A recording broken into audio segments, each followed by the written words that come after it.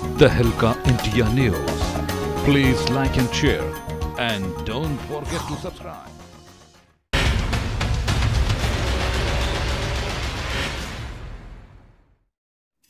खबर विदिशा से जहाँ पर विदिशा में आज प्रदेश सरकार के निर्देश के बाद सभी थाना क्षेत्रों में गायब हुई नाबालिग बालक बालिकाओं को खोजने के लिए पुलिस ने विशेष अभियान चला रही है अकेले सिविल लाइन थाने में जनवरी से लेकर अब तक पुलिस ने 14 से ज़्यादा बालक बालिकाओं को खोज निकाला है। वहीं उनके अभिभावकों को सुप्रत किया गया है। तहलका इंडिया न्यूज़ के लिए रवि चौरसिया की रिपोर्ट।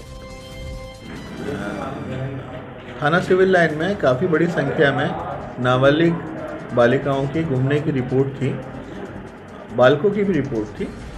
उनमें से विशेष अभियान चलाकर चौदह बच्चे बालिकाएँ जनवरी माह से अभी तक दस्तियाब हुई हैं थाना सिविल लाइन से कुछ बच्चे लड़के भी हैं कुछ बच्चे लड़के भी हैं चार लड़के हैं जो मिसिंग हैं उनकी भी तलाश कर रहे हैं और उनका भी प्रयास किया जा रहा है कि उनकी भी दस्तियाबी शीघ्र से शीघ्र हो जाए। ये जो कामयाबी मिली है कितने दिनों में लगभग? ये जनवरी माह से चल रहा है अभियान जनवरी माह से अभी तक।